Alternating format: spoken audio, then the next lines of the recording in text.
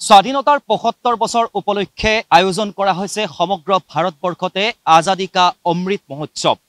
আৰু ইয়াৰ পিছতে প্ৰধানমন্ত্ৰী নৰেন্দ্ৰ মোদী আৰু অসমৰ মুখ্যমন্ত্ৰী হিমন্ত বিশ্ব শৰ্মাই আহ্বান জনাইছে অসমীয়াৰ প্ৰতিজন লোকক যে দুই তাৰিখৰ পৰা অৰ্থাৎ দুই আগষ্টৰ পৰা পোন্ধৰ আগষ্টলৈ সকলোৱে যাতে নিজৰ ছ'চিয়েল যি মিডিয়াৰ একাউণ্ট আছে লাগিলে সেয়া হোৱাটছএপে হওক বা সেয়া টুইটাৰে হওক বা সেয়া ফেচবুক একাউণ্টে হওক।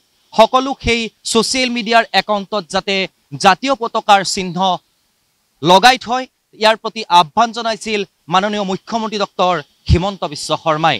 মহাত্মা গান্ধীৰ জন্ম জয়ন্তী উপলক্ষে সৰ্বানন্দ সোণোৱাল ডাঙৰীয়াই তেতিয়াৰ মুখ্যমন্ত্ৰী সৰ্বানন্দ সোণোৱাল ডাঙৰীয়াই এই গান্ধী মণ্ডপত তিনিশ ঊনৈছ দশমিক পাঁচ ফুট উচ্চতাৰ দেশৰ তৃতীয়খন সৰ্ববৃহৎ উচ্চতাৰ পতাকা উত্তোলন কৰিছিল দুহেজাৰ ওঠৰ বৰ্ষত আৰু তেতিয়াৰ মুখ্যমন্ত্ৰী আছিল সৰ্বানন্দ সোণোৱাল। আৰু সেই সৰ্বানন্দ সোণোৱাল ডাঙৰীয়াই মহাত্মা গান্ধীৰ জন্ম জয়ন্তী উপলক্ষে এই গান্ধী মণ্ডপৰ এই বাকৰিত এই গান্ধী মণ্ডপতে দেশৰ তৃতীয়তম উচ্চতা তিনিশ ঊনৈছ দশমিক পাঁচ ফুট উচ্চতাৰ এই পতাকাখন উত্তোলন কৰিছিল গান্ধী মণ্ডপত। আজাদী কা অমৃত মহোৎসৱৰ প্ৰতি সংগতি ৰাখি এতিয়া সকলোৱে সৰ্বত্ৰে বহু লোকে নিজৰ ফেচবুক প্ৰফাইলত নিজৰ হোৱাটছএপ প্ৰফাইলত জাতীয় পতাকা দেখিবলৈ পোৱা গৈছে। আৰু প্ৰধানমন্ত্ৰী নৰেন্দ্ৰ মোদীৰ ফেচবুক একাউণ্টতো দেখিবলৈ পোৱা গৈছে জাতীয় পতাকাৰ প্ৰতিচ্ছবি। আৰু মুখ্যমন্ত্ৰী ডক্টৰ হিমন্ত বিশ্ব শৰ্মাৰ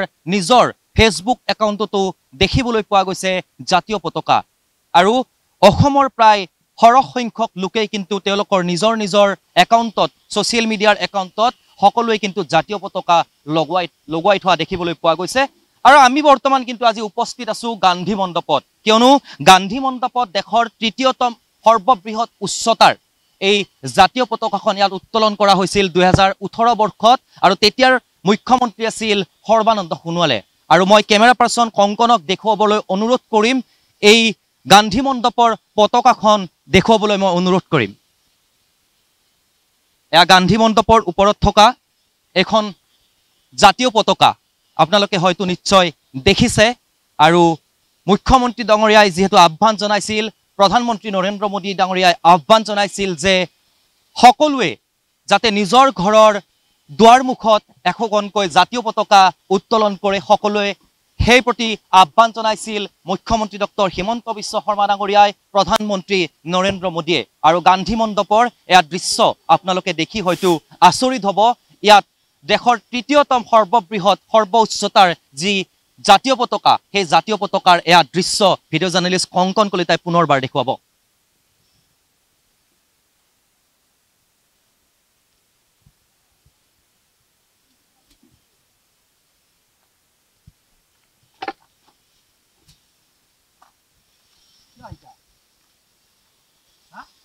এতিয়া প্ৰশ্ন হয় যে মুখ্যমন্ত্ৰীয়ে আহ্বান জনাইছে ভাৰতৰ প্ৰধানমন্ত্ৰীগৰাকীয়ে আহ্বান জনাইছে প্ৰতিগৰাকী লোকক এইবাৰ আজাদী কা অমৃত মহোৎসৱ পালন কৰিবলৈ আহ্বান জনাইছে আৰু সকলোৰে ঘৰে ঘৰে সকলোৰে ঘৰৰ পদূলিত একোখনকৈ জাতীয় পতাকা উত্তোলন কৰিবলৈ সকলো সকলো ৰাইজক আহ্বান জনাইছে। কিন্তু এই এটা ব্যাগুম চৰকাৰৰ যি বিভাগ এই বিভাগৰ এয়া কাৰ্যক্ৰমণিকা এয়া কাৰ্যৰ নমুনা আমি আপোনালোকক দেখুৱাইছোঁ।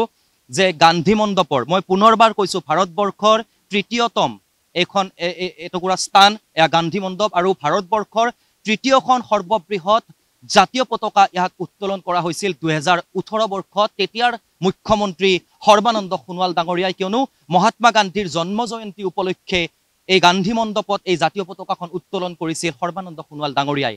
আৰু মুখ্যমন্ত্ৰীগৰাকীয়ে যিহেতু আজিৰ তাৰিখত আহ্বান জনাইছে প্ৰত্যেকজন লোকক যে পদূলিত তেওঁলোকৰ জাতীয় পতাকা উত্তোলন কৰিব লাগে। নিজৰ ফেচবুক একাউণ্টত তেওঁলোকে জাতীয় পতাকা নিজৰ প্ৰফাইলত তেওঁলোকে আপলোড কৰিব লাগে এই কথা কৈছিল। কিন্তু গান্ধী মণ্ডপৰ এয়া এক উলংগ ছবি গান্ধী মণ্ডপৰ এক নগ্ন ছবি। পুনৰবাৰ দেখুৱাইছোঁ আপোনালোকক।